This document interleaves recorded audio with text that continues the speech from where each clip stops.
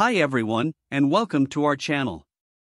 Today, we embark on a thrilling journey to explore the remarkable achievements of the Indian Space Research Organization in three of their most significant lunar missions Chandrayaan 1, Chandrayaan 2, and Chandrayaan 3. Before we take off to the moon, let's take a quick look at their journey. The Indian Space Research Organization was established in 1969 and has since made tremendous strides in space exploration. Over the years, it has achieved many milestones, from launching satellites to sending missions to Mars and beyond. Today, we focus on their lunar missions Chandrayaan 1, Chandrayaan 2, and Chandrayaan 3.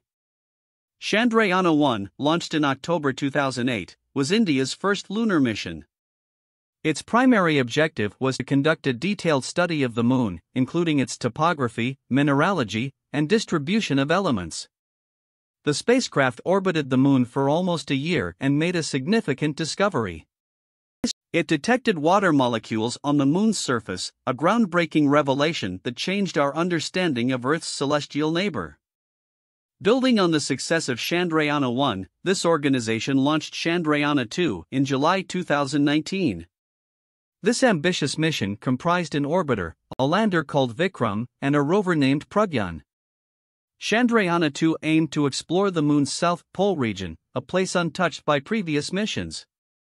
The South Pole is of particular interest because it is believed to contain water ice, which could be invaluable for future lunar exploration.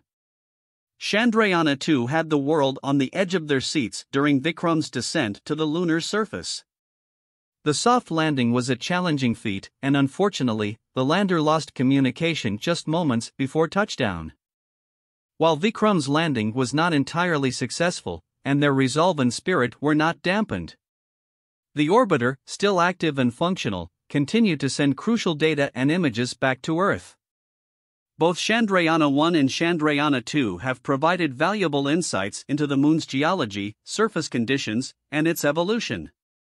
The data obtained from these missions has been made available to the global scientific community, fostering international collaboration in lunar research. But after failure of Chandrayaan 2, they had taken an initiative to launch Chandrayaan 3. Chandrayaan 3 is a robotic mission that was launched on July 14, 2023.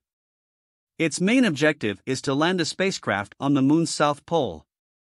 The mission also includes a rover that will explore the lunar surface. Why is Chandrayaan 3 important? The south pole of the Moon is a region that has never been explored before. It is thought to be a potential source of water ice, which could be used to support future human missions to the Moon. What are the challenges of Chandrayaan 3? One of the biggest challenges of Chandrayaan 3 is the landing. The south pole of the moon is a very rugged terrain, and it will be difficult to land the spacecraft safely. Another challenge is the rover. The rover will have to operate in a very harsh environment, and it will need to be able to withstand extreme temperatures and radiation. What are the hopes for Chandrayaan 3? The hopes for Chandrayaan 3 are high. If the mission is successful, it will be a major achievement for India's space program. It will also open up new possibilities for future exploration of the moon. As we wrap up our journey through Indian Space Research Organization remarkable achievements and the Chandrayaan missions, let's take a moment to appreciate the dedication and brilliance of the scientists and engineers who made it all possible.